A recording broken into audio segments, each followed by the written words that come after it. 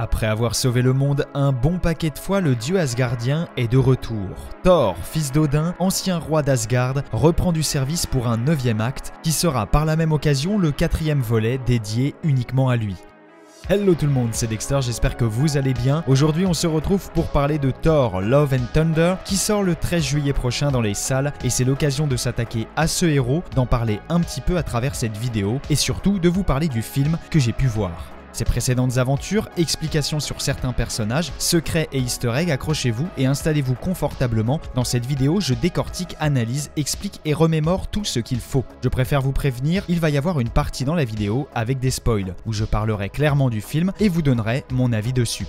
Avant de commencer, je vous rappelle qu'on se rapproche doucement mais sûrement des 100 000 abonnés et que c'est un objectif complètement dingue que j'aimerais atteindre avant la fin de l'année 2022. Donc si vous êtes intéressé par vous plonger avec moi dans de multiples univers, si vous aimez les histoires, les films, les jeux, les séries, n'hésitez pas à vous abonner à ma chaîne, vous êtes au bon endroit, ici on se détend et je suis là pour vous divertir. N'oubliez pas le petit pouce bleu, d'activer la cloche et on y va. C'est donc la neuvième fois que nous voyons Thor à l'écran. Après Thor, Avenger, Thor le monde des ténèbres, Avenger l'ère d'Ultron, Doctor Strange en caméo, Thor Ragnarok, Avenger Infinity War et Avenger Endgame. Et je pense que, à moins d'être un grand spécialiste de l'univers cinématographique de Marvel, vous avez dû au moins louper un de ces films, voire peut-être plus. Donc si vous avez la flemme de regarder les films précédemment cités et que vous voulez foncer au cinéma voir Love and Thunder, quitte à ne rien comprendre par moment, vous êtes bien tombé car je vais vous faire un petit récap. Thor, fils d'Odin, est le dieu du tonnerre et vit à Asgard, l'un des neuf royaumes d'Yggdrasil. Après avoir fait preuve d'irresponsabilité et d'impétuosité, réveillant un vieux conflit entre Asgard et le royaume du Jotunheim, son père, Odin, lui refusa le droit de devenir le nouveau roi, le privant de ses pouvoirs qui lui étaient conférés par son puissant marteau Mjolnir, et il le bannit sur Terre, l'un des neuf royaumes appelé dans la mythologie nordique Midgard. Exilé sur Terre, il découvrit l'humilité et tomba amoureux de la belle Jane Foster. Au même moment, son perfide frère adoptif Loki, originaire du monde des géants, recueilli bébé par Odin, sorcier malicieux, tenta un coup d'état en voulant prendre le trône d'Asgard. Thor l'en empêcha et se racheta auprès de son père. Il retrouva son pouvoir, son marteau, puis retourner en Asgard et les projets de Loki furent stoppés net. Dans la foulée, ce dernier disparut. Thor avait sauvé Asgard des griffes de Loki, mais il fut contraint de retourner sur Terre car son frère, inépuisable, de retour de nulle part, avait pour projet bien original de dominer notre planète, après s'être allié avec un être mystérieux répondant au nom de l'autre. Avec celui-ci, Loki avait passé un marché. Il deviendrait le maître de la Terre en échange de quoi l'autre pourrait posséder le Tesseract, un étrange artefact donnant un pouvoir immense. Pour contrer cela, les Avengers furent formés réunissant au début Black Widow, Iron Man, Hulk, Hawkeye, Captain America et Thor. Loki et l'armée de Chitauri passèrent à l'offensive et la bataille de New York éclata. Mais grâce aux Avengers, Loki fut vaincu, privé de son fameux sceptre et le Tesseract mis en sécurité. Thor repartit avec son frère à Asgard pour qu'il y soit emprisonné. Et l'ennemi inconnu nommé l'autre se révéla être en réalité un certain Thanos. De retour à Asgard, Thor dut faire face à une toute nouvelle menace, celle des elfes noirs du royaume de Svartalfheim, le monde des ténèbres. Les elfes et leur chef Malekith voulaient reprendre possession du pouvoir de l'éther, une force antique ayant une forme fluide que l'armée d'Asgard leur avait dérobée pour le bien de l'univers des milliers d'années auparavant. Pour éviter que les neuf royaumes soient plongés dans les ténèbres éternelles, Thor fut contraint de libérer Loki, condamné à perpétuité dans les cachots d'Asgard.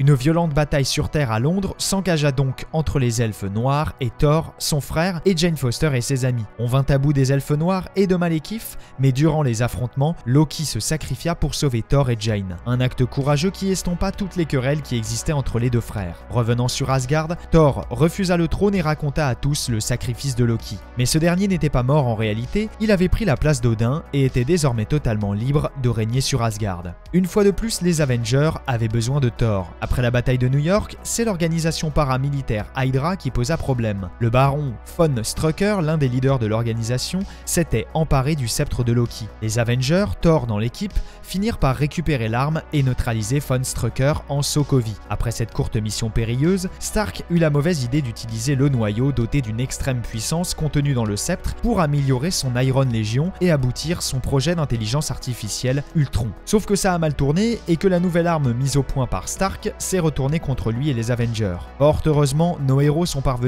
à vaincre Ultron et tout le chaos que cela avait engendré. Stark ne refit pas la même erreur et reprit son programme Ultron depuis le début. Il incorpora la pierre de l'esprit qui était dans le sceptre et donna vie à son intelligence artificielle Jarvis qui devint Vision. Après cela, Thor fit un lien avec les différents événements survenus dans la galaxie depuis quelques années. Les Avengers, ensemble ou séparément, avaient combattu plusieurs ennemis, mais tous étaient étroitement reliés par les pierres d'infinité et le dieu du tonnerre soupçonna que quelque chose de terrible se tramait. Il se mit en quête de retrouver deux pierres d'infinité auxquelles les Avengers n'avaient pas encore été confrontés, la pierre de l'âme et la pierre du temps. Il se passa deux ans sans que Thor ne trouve ses pierres. Son voyage le mena à Muspelheim, l'un des neuf royaumes, le monde du feu, mais il apprit surtout que le Ragnarok allait se produire. Cela impliquait la destruction de son monde et la fin de la civilisation asgardienne par Surtur, seigneur de Muspelheim. Asgard avait plongé dans la décadence à cause de Loki, qui gouvernait à présent ce monde, masqué sous les traits d'Odin, ce dernier qu'il avait envoyé périr sur Terre. Thor démasqua Loki et les deux partirent récupérer leur père avant de le trouver en Norvège, mourant et il s'évapora bientôt dans l'air. La mort du père de toutes choses provoqua la libération de leur sœur aînée, jusqu'alors inconnue d'eux, Hela,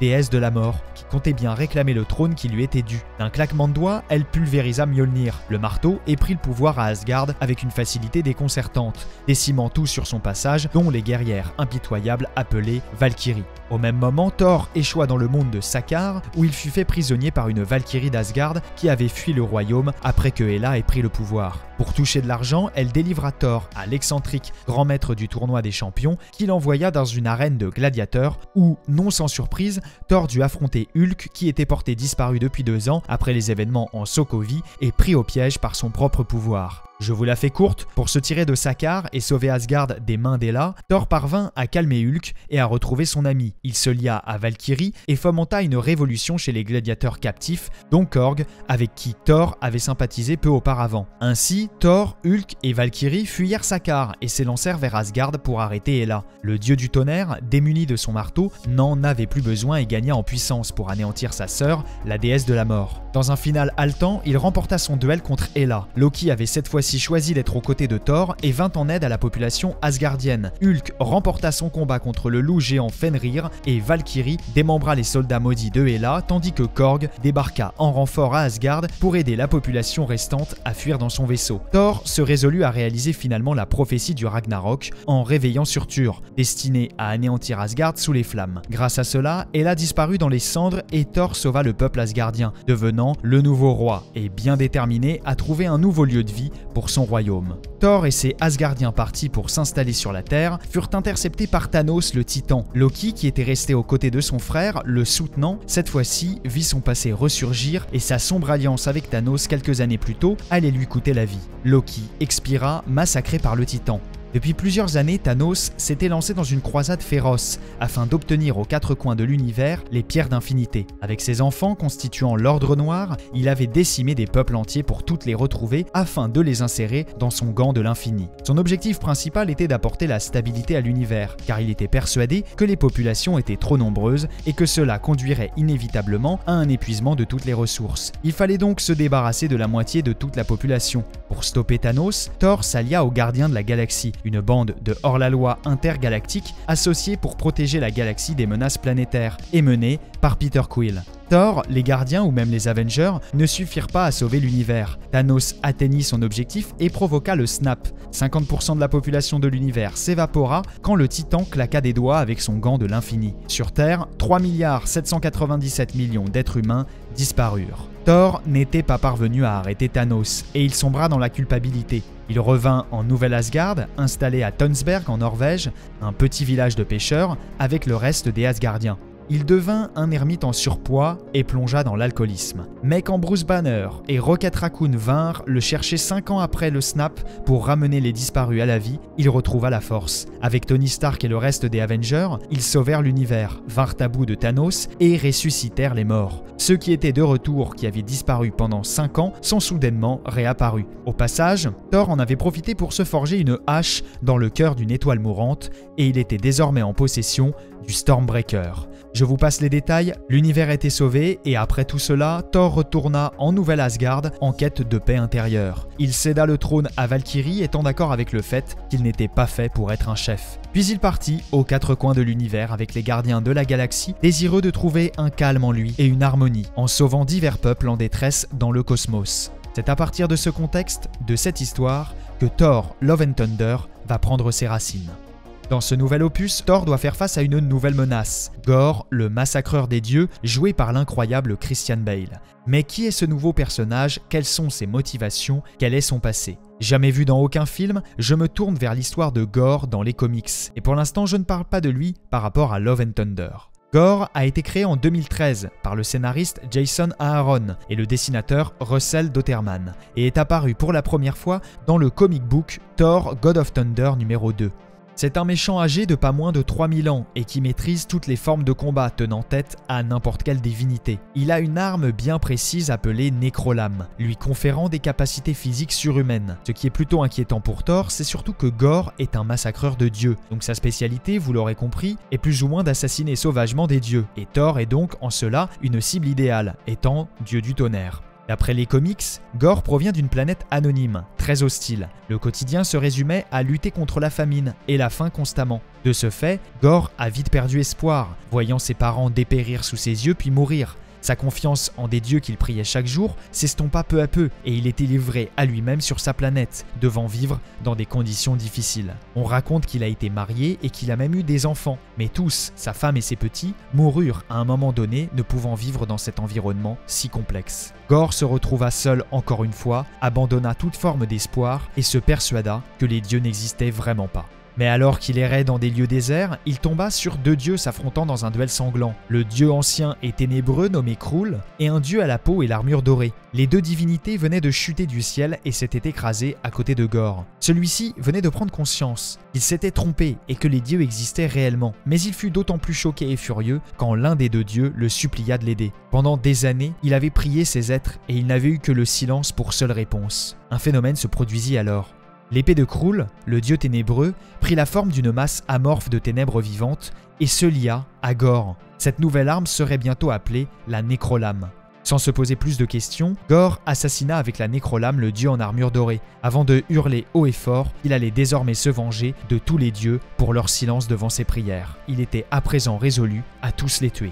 C'est ainsi que pendant des milliers d'années, il traversa le cosmos à la recherche de Dieu pour exercer sa vengeance. Sans distinction, il massacra toutes sortes de dieux, devenant un véritable boucher. Sa quête sanguinaire le mit sur le chemin du jeune Thor Odinson, dieu du tonnerre d'Asgard au Moyen Âge. Ils se rencontrèrent pour la première fois en Islande, sur Terre. Thor avait découvert plusieurs dieux slaves morts avant d'être attaqué par Gore, qui fort heureusement manqua le dieu asgardien de très peu. Leur combat en Islande fut très intense et sanglant. Gore parvint à emprisonner Thor et le tortura pendant 17 jours. Il voulait que son prisonnier lui révèle des informations cruciales sur les autres divinités d'Asgard. Mais Odinson ne céda pas et accepta d'être torturé un peu plus. La captivité de Thor finit quand des vikings vinrent le libérer. Gore fut distrait pendant quelques instants qui suffirent à Thor pour lui trancher le bras droit et s'échapper. Mais Gore n'avait pas dit son dernier mot.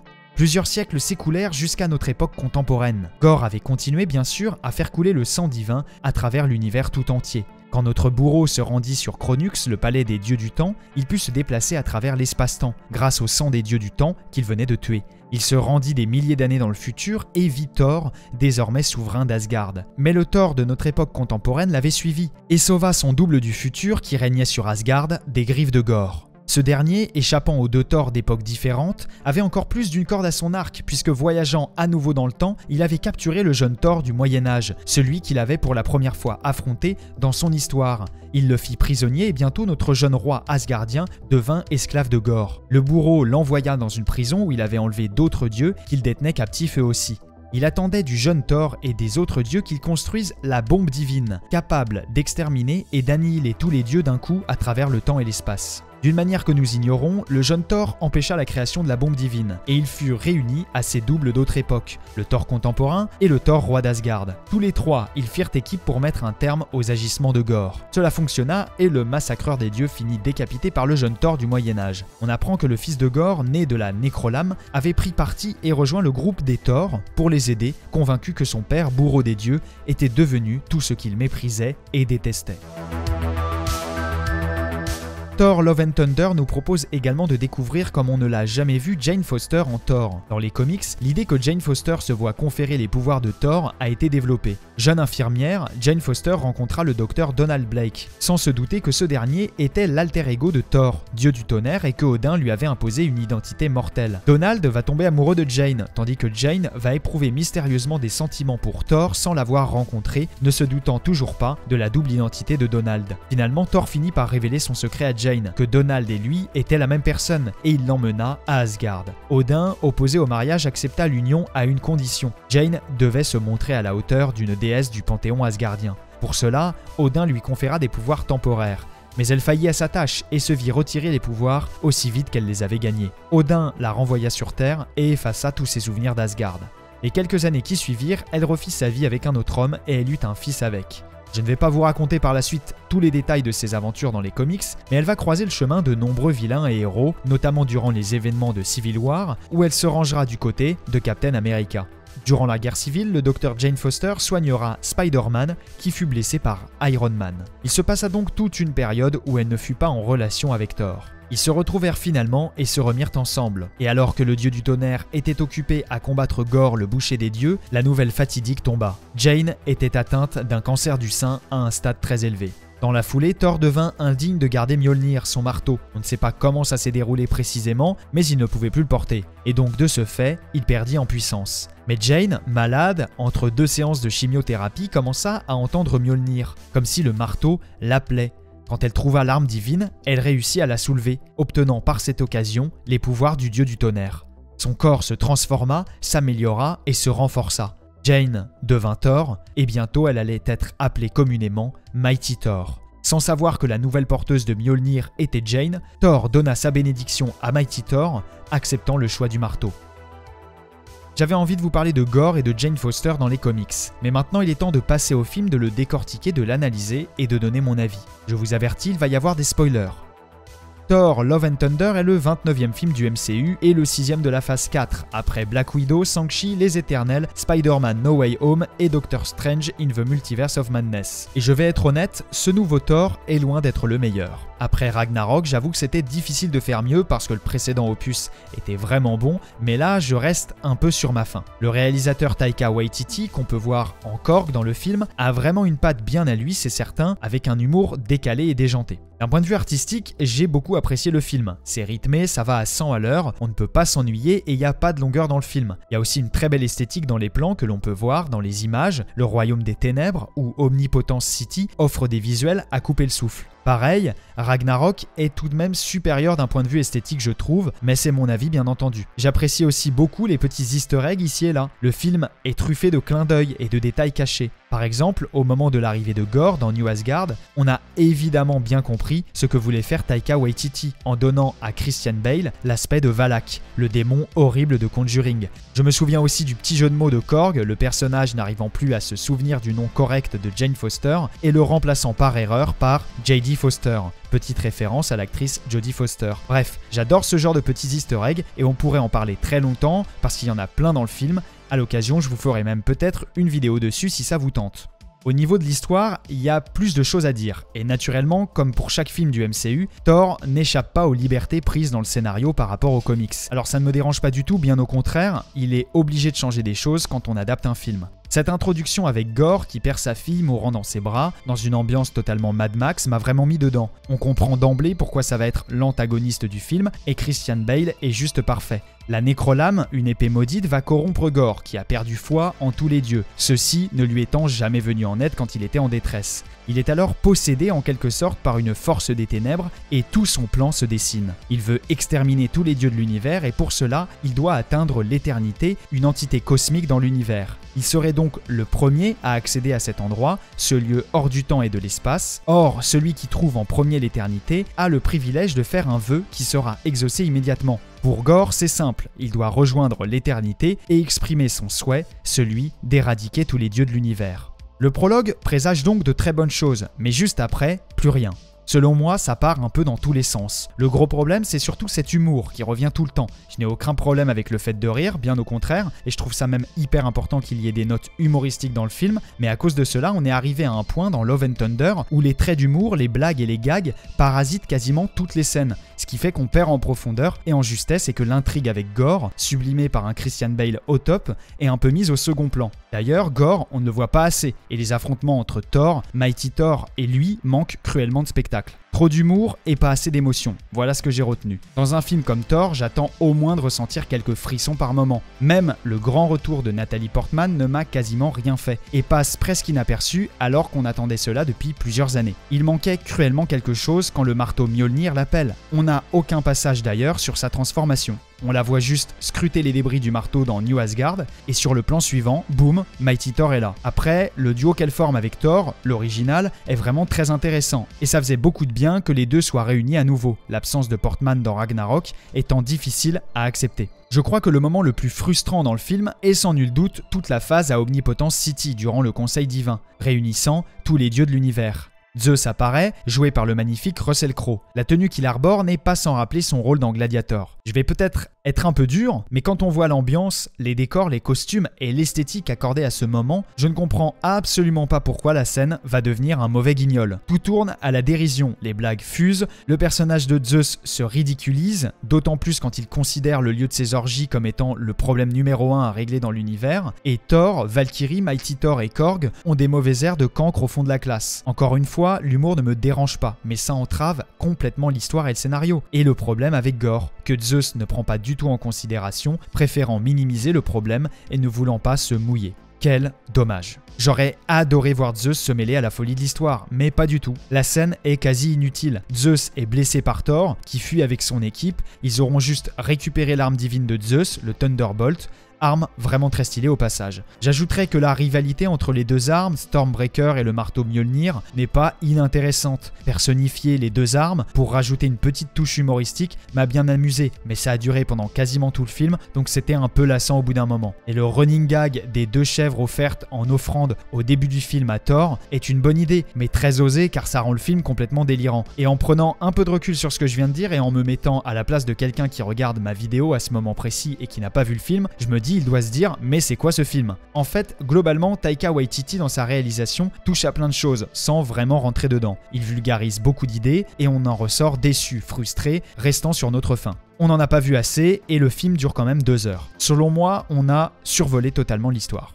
C'est d'autant plus dommage quand on voit le boulot de Christian Bale, qui s'est donné à fond pour le rôle, ça se ressent, et qui malgré tout n'arrive pas à rehausser la teneur globale de l'intrigue. La fin est plutôt belle, il faut le reconnaître. Gore atteint l'éternité et fait le choix juste de ramener sa fille d'entre les morts plutôt que d'annihiler tous les dieux de l'univers. Son vœu est exaucé et sa petite chérie est de retour. Affaibli et agonisant, Gore demande à Thor de veiller sur son enfant et de la protéger, ce que le dieu du tonnerre accepte sans hésiter, tandis que Mighty Thor, Jane Foster, consumée de l'intérieur par le pouvoir du marteau, son cancer trop avancé, décède dans les bras de l'amour de sa vie et s'évapore dans l'air pour atteindre le Valhalla. Il y a une certaine poésie dans toute cette conclusion. Gore est rattrapé par ses remords et fait preuve de raison, puis il meurt. J'aime beaucoup voir un antagoniste comprendre à la fin d'une histoire le mal qu'il a répandu. Thor va donc s'occuper de la fille de Gore, possédant des pouvoirs elle aussi. Le fait qu'elle soit née de l'éternité lui a apporté des capacités. Et le dieu du tonnerre va reprendre ses aventures à travers l'univers pour venir en aide à des peuples en danger. Cette fois, il sera accompagné de sa nouvelle coéquipière, la fille de Gore, qui s'appelle Love, et le titre du film est alors justifié. En affrontant leurs ennemis, ils répandent amour et tonnerre. Je regrette personnellement que Jane Foster, Mighty Thor, meure à la fin et aille au Valhalla. Je ne comprends pas trop le fait qu'elle fasse son retour dans le MCU pour mourir direct. Je ne vois pas du tout l'intérêt. J'aurais bien aimé qu'elle survive et qu'elle se retrouve dans d'autres films. La scène post-crédit nous annonce par contre une potentielle suite pas inintéressante avec Zeus, qui envoie Hercule, son fils, à la recherche de Thor pour le tuer. Zeus serait-il le prochain Thanos? À réfléchir. Bref, voilà, je vous ai exposé mon avis sur le film assez déçu globalement, mais si j'essaie d'être objectif, on passe tout de même un très bon moment quand on est devant. Ma vidéo touche à sa fin, j'espère qu'elle vous aura plu. Si c'est le cas, n'hésitez pas à vous abonner à ma chaîne en activant la petite cloche des notifications. Posez votre pouce bleu en guise de soutien. Dites-moi dans les commentaires si vous avez une série, un film que vous voudriez voir sur ma chaîne. Prenez soin de vous et à bientôt. C'était Dexter.